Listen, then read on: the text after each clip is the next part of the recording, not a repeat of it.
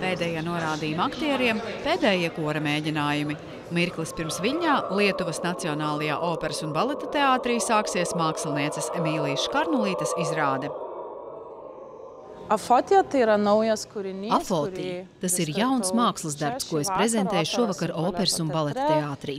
Tas ir radies no gadiem ilgiem pētījumiem, kas saistīti ar ūdeni upēs, jūrās vai okeānos. Tiek upėse, tiek jūrose, tiek vandenynuose. Izrādes atmosfēra sagaida skatītājus pie pašas ieejas. Emīlijas Škarnulītes uzstāšanos veido skaņas un gaismas horeogrāfija, lielformāta videoprojekcijas un dzīva uzstāšanās. Darba nosaukums afotija cēlies no termina afotiskā zona, jeb tumšais okeāns, kas ir saules gaismai nepieejamā dziļumā. Yra zona, kurioje Šī ir zona, jau kurā vispār nav gaismas un ļoti maz skābekļa, un rodas pavisam citi organismi. Tā ir kā cita planēta. ekologiniai organizmai. Tai yra tarsi kita planeta. Bienāles ideja radusies galvaspilsētas galerijas Menonīša komandai. Pagrindinė gal buvo priežastis. Laikam galvenā ideja bija, ka Viļņai aprit 700 gadi.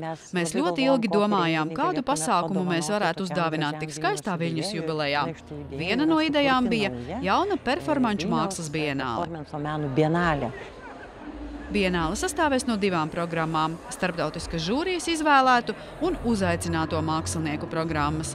Bienāles konkursam pieteicās gandrīz 300 mākslinieku no 58 pasaules valstīm.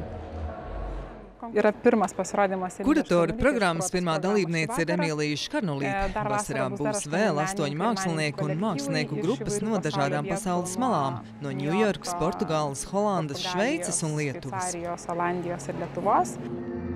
Skatītāji, kas iegrimuši dziļuma attēlos, tiek skenēti ar spēcīgu staru. Tā ir mākslinieces uzstāšanās kulminācija. Šis darbs ir Viļņas performanču bienāles agrīnā bezdalīga. Galvenie pasākumi norisināsies vasarā, kad skatītājus gaidīs aptuveni 40 notikumu programma.